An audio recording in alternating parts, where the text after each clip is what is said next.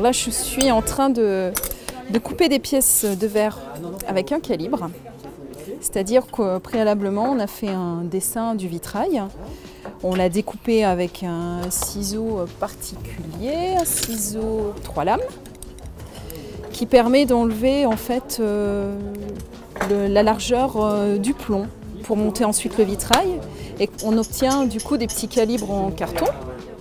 Et ces calibres, on les pose sur le verre et avec un coupe-verre, on vient découper le verre autour du calibre en étant le plus précis possible. Pour devenir vitrailliste, il faut avant tout être minutieux et passionné. Mais est-ce qu'une formation menant à ce métier ancestral et peu connu a de l'avenir? Est-ce un secteur porteur d'emploi? Le CAP vitrailliste a ouvert ses portes en 2018 au lycée du Magembeau à Limoges. Une formation née d'un partenariat entre cet établissement, le Greta du Limousin, mais aussi des professionnels du métier. Cette formation a été créée parce que c'est un métier qui est aujourd'hui euh, peu, connu. Et des formations existantes sur le territoire sont, très peu nombreuses.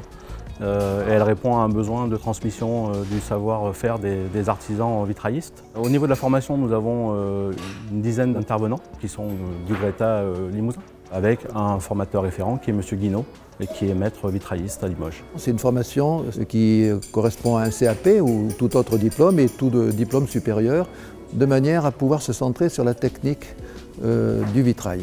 L'essentiel de la formation, c'est le tracé, la coupe et le montage.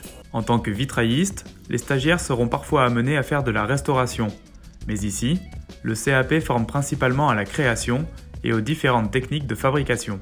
Au départ, je leur présente le vitrail à partir d'un panneau, je leur explique les différentes étapes. Euh, on fait d'abord une, maquette, on imagine qu'on a un client, on fait une maquette si c'est en création. Lorsque la maquette est, acceptée, on passe ensuite au dessin euh, grandeur nature sur un carton et ensuite on va coder toutes les pièces euh, qui ne sont pas encore découpées, on va les numéroter et on va mettre la couleur qui correspond, ce qui va permettre de découper nos pièces. On va réassembler ces pièces sur le calque qu'on avait préparé à l'avance et euh, on va monter pièce par pièce en, en entourant le plomb, en le mettant en forme par rapport à, la pièce, en sachant que le plomb est un métal très mou, donc il peut épouser n'importe quelle forme. Le temps est lié au nombre de pièces au mètre carré et, à la difficulté de coupe, à la complexité. On peut avoir sur un mètre carré un temps de coupe d'une semaine euh, pour 300 pièces si les, pièces sont complexes. Une formation sur 10 mois qui se déroule aussi en entreprise. Les stagiaires pourront approfondir leurs pratiques au cours de deux sessions d'un mois et demi en atelier. Ils sont en entreprise euh, pendant un mois et demi et là ils vont euh, être dans une autre pratique, ils vont faire du chantier et, en fonction des ateliers ils vont faire de la peinture sur verre, euh, du, fusing, du thermoformage éventuellement et toute technique à l'initiative des entreprises. Dans cette première promo du CAP, les stagiaires viennent d'horizons différents. Corinne et Arnaud suivent la formation avec des objectifs divers. Je suis en conversion professionnelle en fait.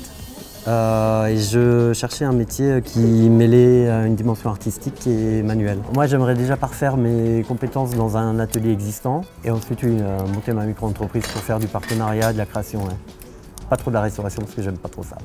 Alors en fait, moi j'ai déjà un parcours euh, dans les métiers d'art. J'étais euh, déjà préalablement à mon compte en création en porcelaine sur la région. Et ben j'ai décidé de faire cette formation euh, par la suite qui s'est ouverte en fait pour me spécialiser et aller plus loin dans, les, dans mes connaissances, que ce- qu'elles soient pratiques, techniques ou aussi en histoire de l'art. Je compte mélanger en fait mes savoir-faire en, en modelage, en porcelaine et, euh, et utiliser maintenant ce que je suis en train d'apprendre euh, en verre euh, pour faire des, créations qui vont mélanger un peu tout ça. Et la restauration aussi me plaît énormément, le côté être comme un petit maillon dans la chaîne de l'histoire culturelle d'un pays, d'une région. C'est vraiment quelque chose de très honorifique et qui me plaît énormément et que j'ai découvert à travers le vitrail. Et qui dit histoire culturelle dit savoir-faire ancestral. Mais un métier ancien ne signifie pas forcément sans avenir. Au contraire, notre pays compte bien garder ses richesses dans ce secteur. C'est un savoir-faire ancestral pour la bonne raison qu'on utilise toujours la même technique, les mêmes gestes, puisque au 13e, on avait toujours les, profilés en H. Les principes n'ont pas changé, on, assemble toujours des pièces de verre dans, dans les mêmes profilés en plomb. Je pense qu'il est important de, pouvoir garder ce savoir-faire, de pouvoir le transmettre, puisqu'on est quand même sur des métiers rares et des métiers qu'il faut continuer à, faire euh, survivre. Il y, a, des besoins en rénovation, en restauration de patrimoine et qu'il euh, y aura toujours effectivement une demande sur ce, sur ce métier-là. C'est des métiers qu'il faut valoriser non seulement à l'intérieur de la métropole, mais également euh, au niveau de l'Europe, voire au niveau de l'international, parce que ce sont des métiers d'art et des métiers rares. Et je crois que c'est important en France de, valoriser ces métiers, notamment ces métiers manuels. Des métiers valorisés essentiellement dans le nord de la France, avec plusieurs formations. Mais le CAP vitrailliste de Limoges est une référence puisqu'il est unique en Nouvelle-Aquitaine et plus largement au sud de la France. Je crois que c'est une chance pour Limoges qui est quand même euh, euh, capitale de l'UNESCO euh, dans les domaines de tout ce qui est porcelaine, qui a obtenu l'IG porcelaine. Je pense que c'est important pour cette ville euh, de valoriser les, métiers d'art. Et il y a tout un environnement géographique qui permet de le faire. On est dans une région où, on, représente les arts du feu, Limoges la capitale des arts du feu.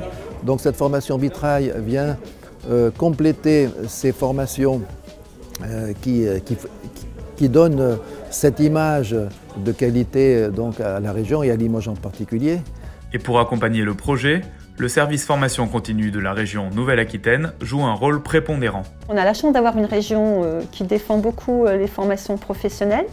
Et ça, pour, pour, nos établissements, c'est important parce que de plus en plus, si vous voulez, euh, ils assurent les financements, ils apportent les subventions quand on a besoin d'acheter du matériel pour nos établissements et, ça nous permet de faire avancer nos élèves beaucoup plus vite euh, que si on devait nous-mêmes trouver des financements. Le CAP vitrailliste de Limoges est donc un endroit idéal pour se former. La deuxième promotion débutera en septembre prochain.